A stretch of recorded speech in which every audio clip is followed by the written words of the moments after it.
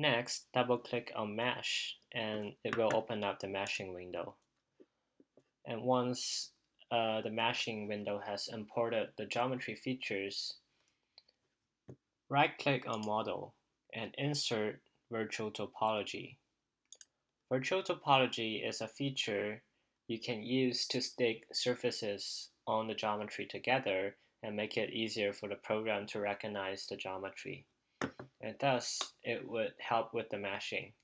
So because of this complex structure, we cannot create a whole virtual cell because there are some surfaces where the curvature change is too rapid and those surfaces cannot be merged into one single cell.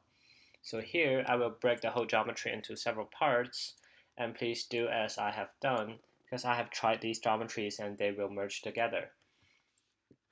So hold down your left mouse button and sweep through these surfaces. If you want to flip it around, hold down your center mouse button. Then click Control key and then sweep through the rest of these surfaces as shown. Double check that you have all these surfaces selected and make sure you do not select this inlet. Then right click on the highlighted regions and then insert virtual cell.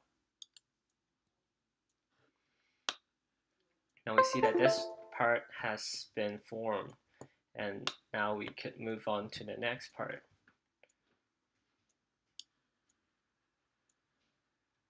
Next, please choose these surfaces as shown.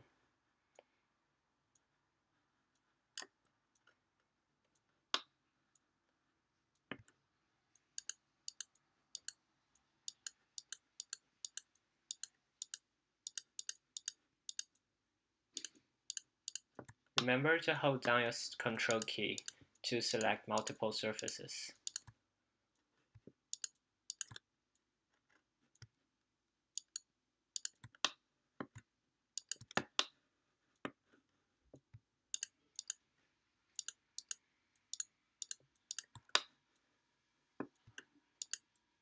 This is a time-consuming process, but it makes it much easier for the program to calculate the mesh.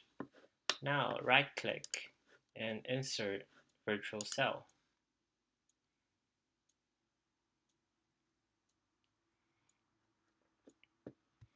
Next, create another virtual cell for the larger branch.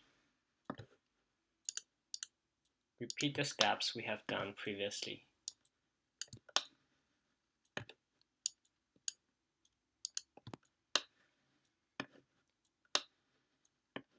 Right-click and insert virtual cell.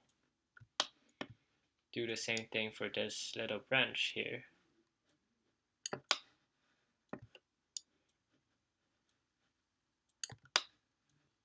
And create a fourth virtual cell. Right-click, insert virtual cell. Make sure that you do not have these two outlets and this inlet selected.